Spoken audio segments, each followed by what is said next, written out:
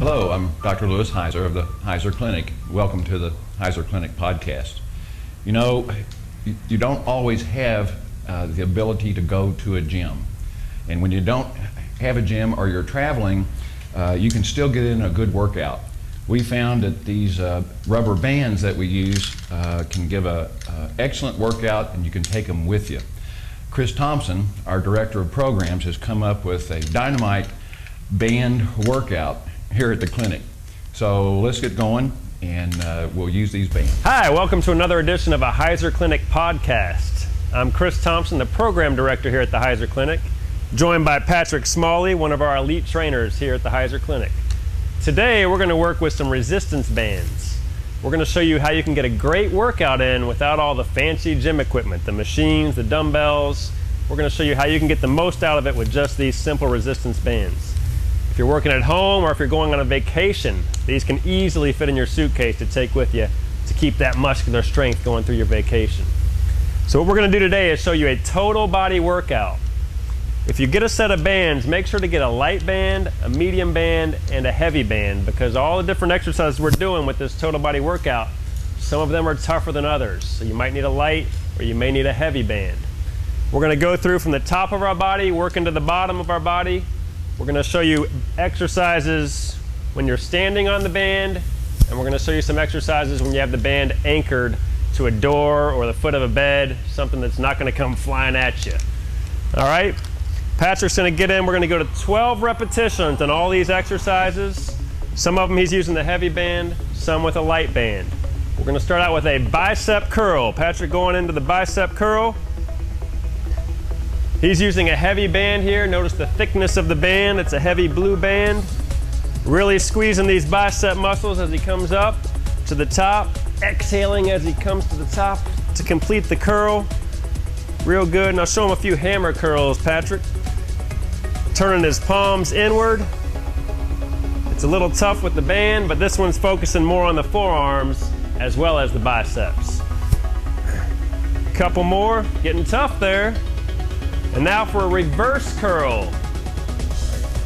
Reverse curl, very difficult movement. It's working the top of his forearms. Most people, normal people, couldn't handle this much resistance with a reverse curl. You can see even this guy is starting to strain a little bit. How's it feel, Pat? Very tough. Very tough. So main emphasis on the forearms, also working those biceps. How many is that? A couple more? Nine. Squeezing, keep breathing throughout. Keep that blood 11, pressure from spiking. And 12. All right, let's switch to a lighter band. We just worked the front of the arm. Now we're gonna work the back of the arm, our triceps. So Patrick's gonna grab a step down on the bands. Overhead extension with the tricep. Taking it up behind and go. He's keeping his elbows close into his head, really squeezing, working those triceps. Nice extension. Remember to exhale as you push to the top. Exhale up and through. I already see some sweat starting to form on the forehead here. Yeah, it's hot in here. A lot of people think these bands are easy, but they can give you a really good workout. Check out these muscles. All right, from the tricep, we're gonna go into a shoulder press. Working similar areas, but right on these shoulders and go. This move's a little easier, so you could go back to a heavier band or you could stay with this medium band. He's pushing straight up, exhaling with the push. Posture's perfect, straight up and down. He's not pushing his hips forward like you'll sometimes see with poor technique. Very good, let's get a couple more. And great. Now to work the front and the side of the shoulders. He's gonna need a lighter band because we're working small muscle groups here, just side and the front of the shoulder. We're gonna do a front and side raise, alternating directions. Looking good. Notice this band is the skinniest of all, and he's really focusing on the sides and the fronts of those deltoid muscles. Never forgetting to breathe, keeping his core nice and solid throughout to maintain that posture. How's that feeling, Patrick? Chris. Feeling good. Going on. He's getting some sets. lactic acid going here.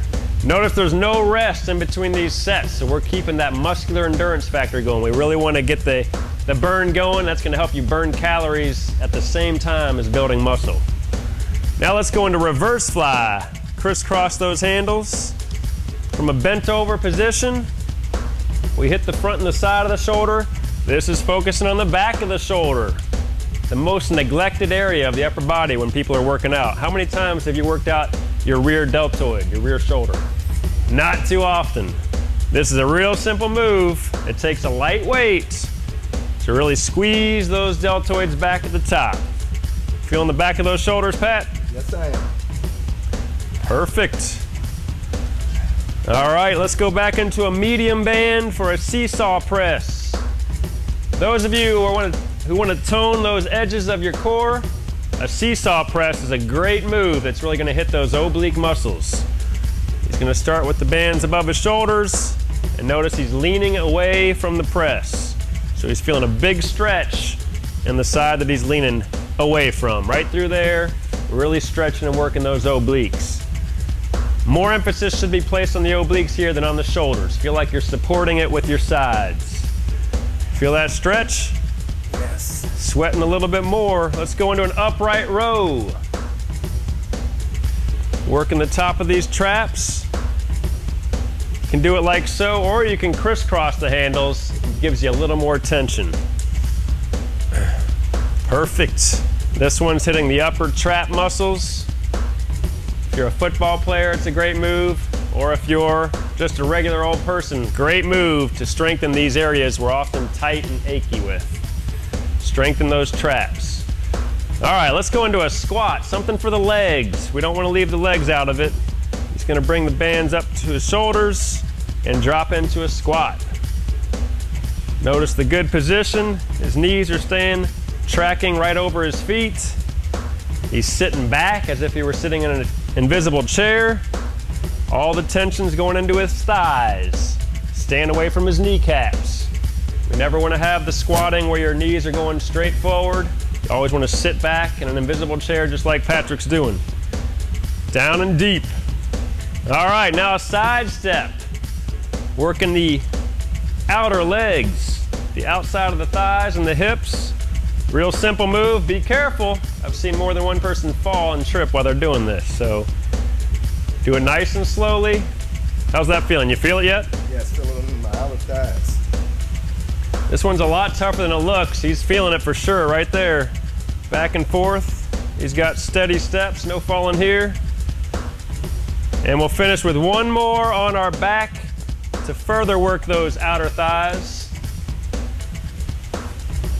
He's gonna place the band around his shoes. Make sure it's in the middle of your shoes, not up by the toes where it's gonna come off and smack you in the, the face.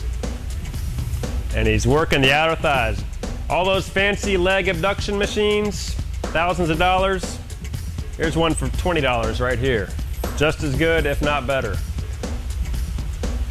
All right, super, and hopping up.